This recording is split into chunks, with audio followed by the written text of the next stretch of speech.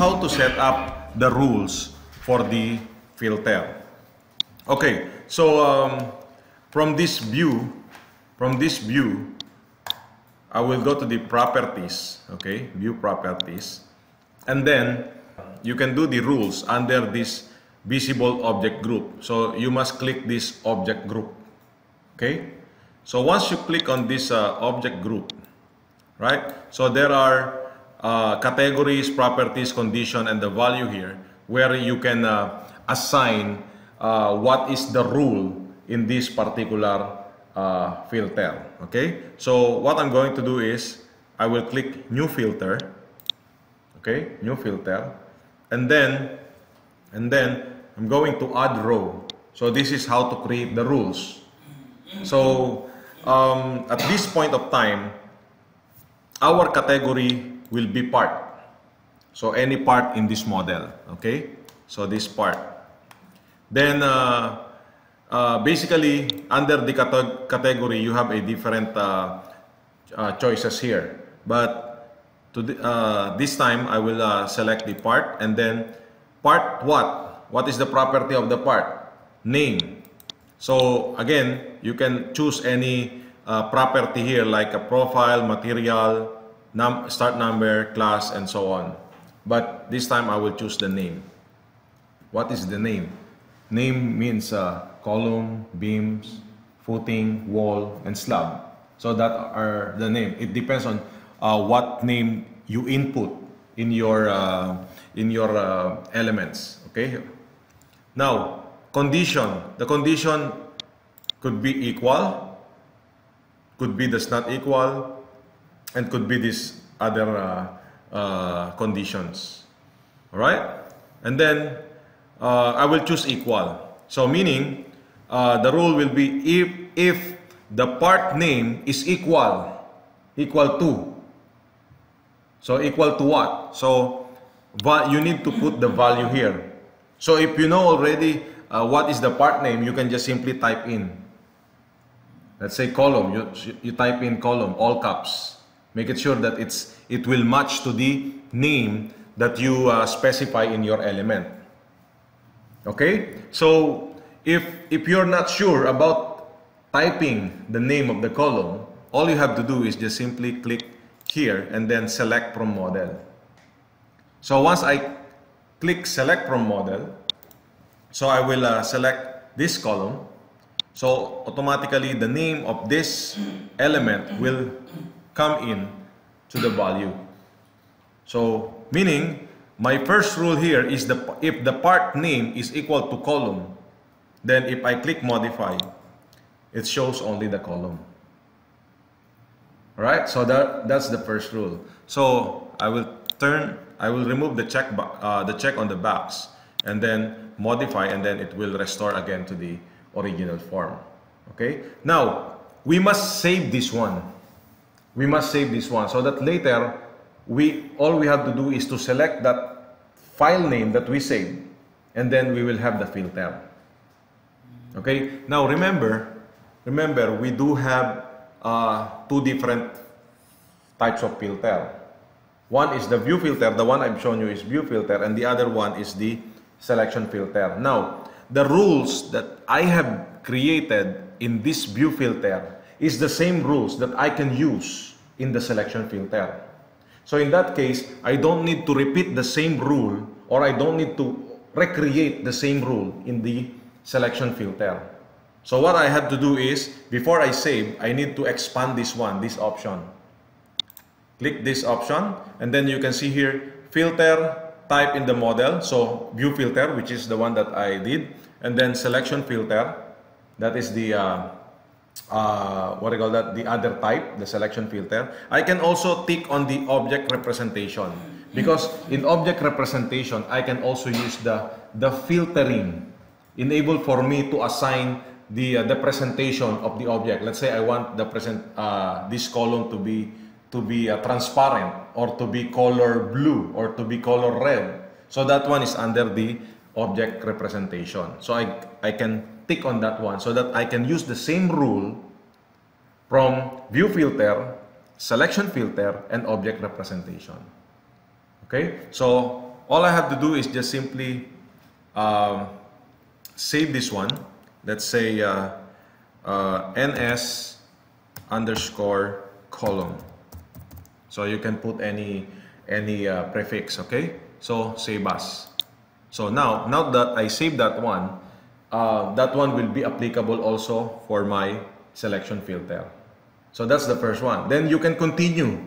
You can continue. So let's say the next one is uh, select again from model. Then let's say click the footing. So I have the footing. So all I have to do is to change this one as footing. And then save as. So no need for you to close. So just continue adding the, uh, the rules. Let's say this one. So wall. So ns wall save as again save as to filter selection filter view filter and object representation. And then uh, the next one is beam. Then this one is beam. Save as then lastly the slab. So this one will be slab. Save as so now that one will be added in my library. So ns beam column footing slab and wall Okay, so all I have to do is to select that one later. But okay, what if, what if in case that I want to have a multiple selection? Let's say I want to select, I want to show only column and beam at the same time. So what, what shall we do? So all we have to do is to go back to this value and then multi-select from model. So meaning, I can select the column and then the beam and then middle button of your mouse, then beam column will be there Look, if I modify that one, so beam and column will be filtered. What if I don't want to show the column and the beam? All we have to do is just change the condition to does not equal. And then modify and it will not show the column and the beam. The, the remaining parts will be shown, but the column and the beam will, will not be shown. So that if I save that one, then I can also find that one here in the selection filter. Okay, let's try, I, I will uh, go back to the original. All right, I'll cancel this one. So the reason why I cancel because it's it's already saved there. Okay, I will show you how to use it. Now, um, for the view filter, again, you go back to the uh, view properties. So the, the one that you saved earlier will be shown here. Let's say NS beam, beam filter modify, so only shown beam. Uh, column, modify, or so, sorry, column, okay, let I think I, uh, oh, I removed the check on the column. So save as, okay, so modify, so column, and then footing, and then uh, slab, and then wall. So as you can see, I managed to show all the, uh, the different filter according to the name. Okay, so let's say I, am going to show all again. Right now, how to use the selection filter. So on this uh, bottom bar, you can see the, you can also see the, the one that you saved. So here, NS beam. If I select NS beam, and then if I make a window, it will show only the beam. Now, to make it clear, I will press Control 5 so that it will be a ghost image. image. So, if I select now, so this is the beam. Then I can easily get the report on that one. Let's say I want to, to get the, uh, the total uh, volume of the concrete for this beam. So I can easily get it. So if I want to, uh, to select the uh, NS uh, column, so here select, it will show only the column. All right? So, it's a matter of uh, creating the rules on this uh, uh, selection and view filter. Okay? So, I will turn on the uh, uh, rendered view again. So, that's uh, how you create the rules for selection filter and view filter. Okay, using our filter, we, we can now apply that one in our object representation. Okay, since we have the uh, filter now, so let's apply that one in the object representation. So to apply that one, you can go back to the uh, view filter, uh, view properties. Remember, uh, during the first day, I've shown you about this representation and then I, I told you that we're going to skip that one for the meantime. Then this is the time that we go back. Okay? And also this visible uh, object group, that is the filter that we skipped last time. So now it's time for us to apply the, uh, the filtering to our object representation. So if you may click on this uh, uh, representation. So you can see here there, there are uh, uh, object group, color, and the transparency. So this is how you show your model or how you uh, uh, show the color or transparency of the model. So what I'm going to do is there, there, are, there, there is a default uh, object group here that I'm going to delete. But this all color by class visible must always be there. Okay? But now I'm going to to add I'm going to add the uh, a row. Okay. So let's say, for example, for uh, for this uh, additional row, I'm going to select the wall. Okay, select the wall. So look, for the wall, I can color by class or I can select a color from the uh, 14 different col uh, 15 different colors of Tekla or I can choose from the color database to and define colors. So here I can select any color that I want to use. So even though this, this one is color uh, green, I can choose some other color here and then I will represent this one in my object representation.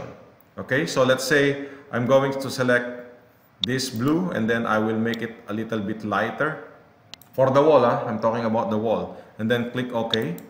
So NS wall color is that color and then transparency, I can change that one to let's say 50% transparency. So meaning all the wall will be transparent. It's like a glass. Right? Right? So this is the uh, object representation. And let's say all color by class. So meaning for all, I can also change the color for all beside the wall. Right? So let's say I will choose another color for the for all. So let's say this. Maybe I'll try this one and then make it lighter. Right? And then click OK. And that's the color for all beside the wall. And then the visibility or the, the transparency will be visible. Okay, so if I'm okay with this one, then I will type here NS colors and then save as. Right? So if I can cancel and then here NS color and then modify, there you go. So now this is my object representation. All the walls will be transparent like a glass and then all the all the elements will be color beige. Okay, so if you want to modify again, go back to the representation and then here, uh, maybe I, I, I, want to change also the, uh, the color for the slab.